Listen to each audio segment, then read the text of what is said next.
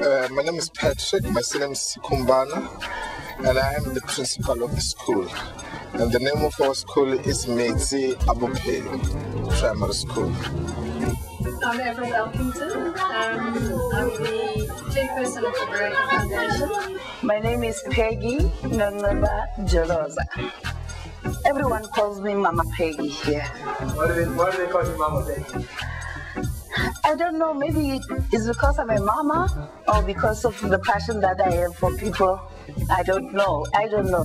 I didn't. I'm not the one who started it. I don't know. I just heard them calling me Mama Peggy, and it went on. Now my name is Mama Peggy.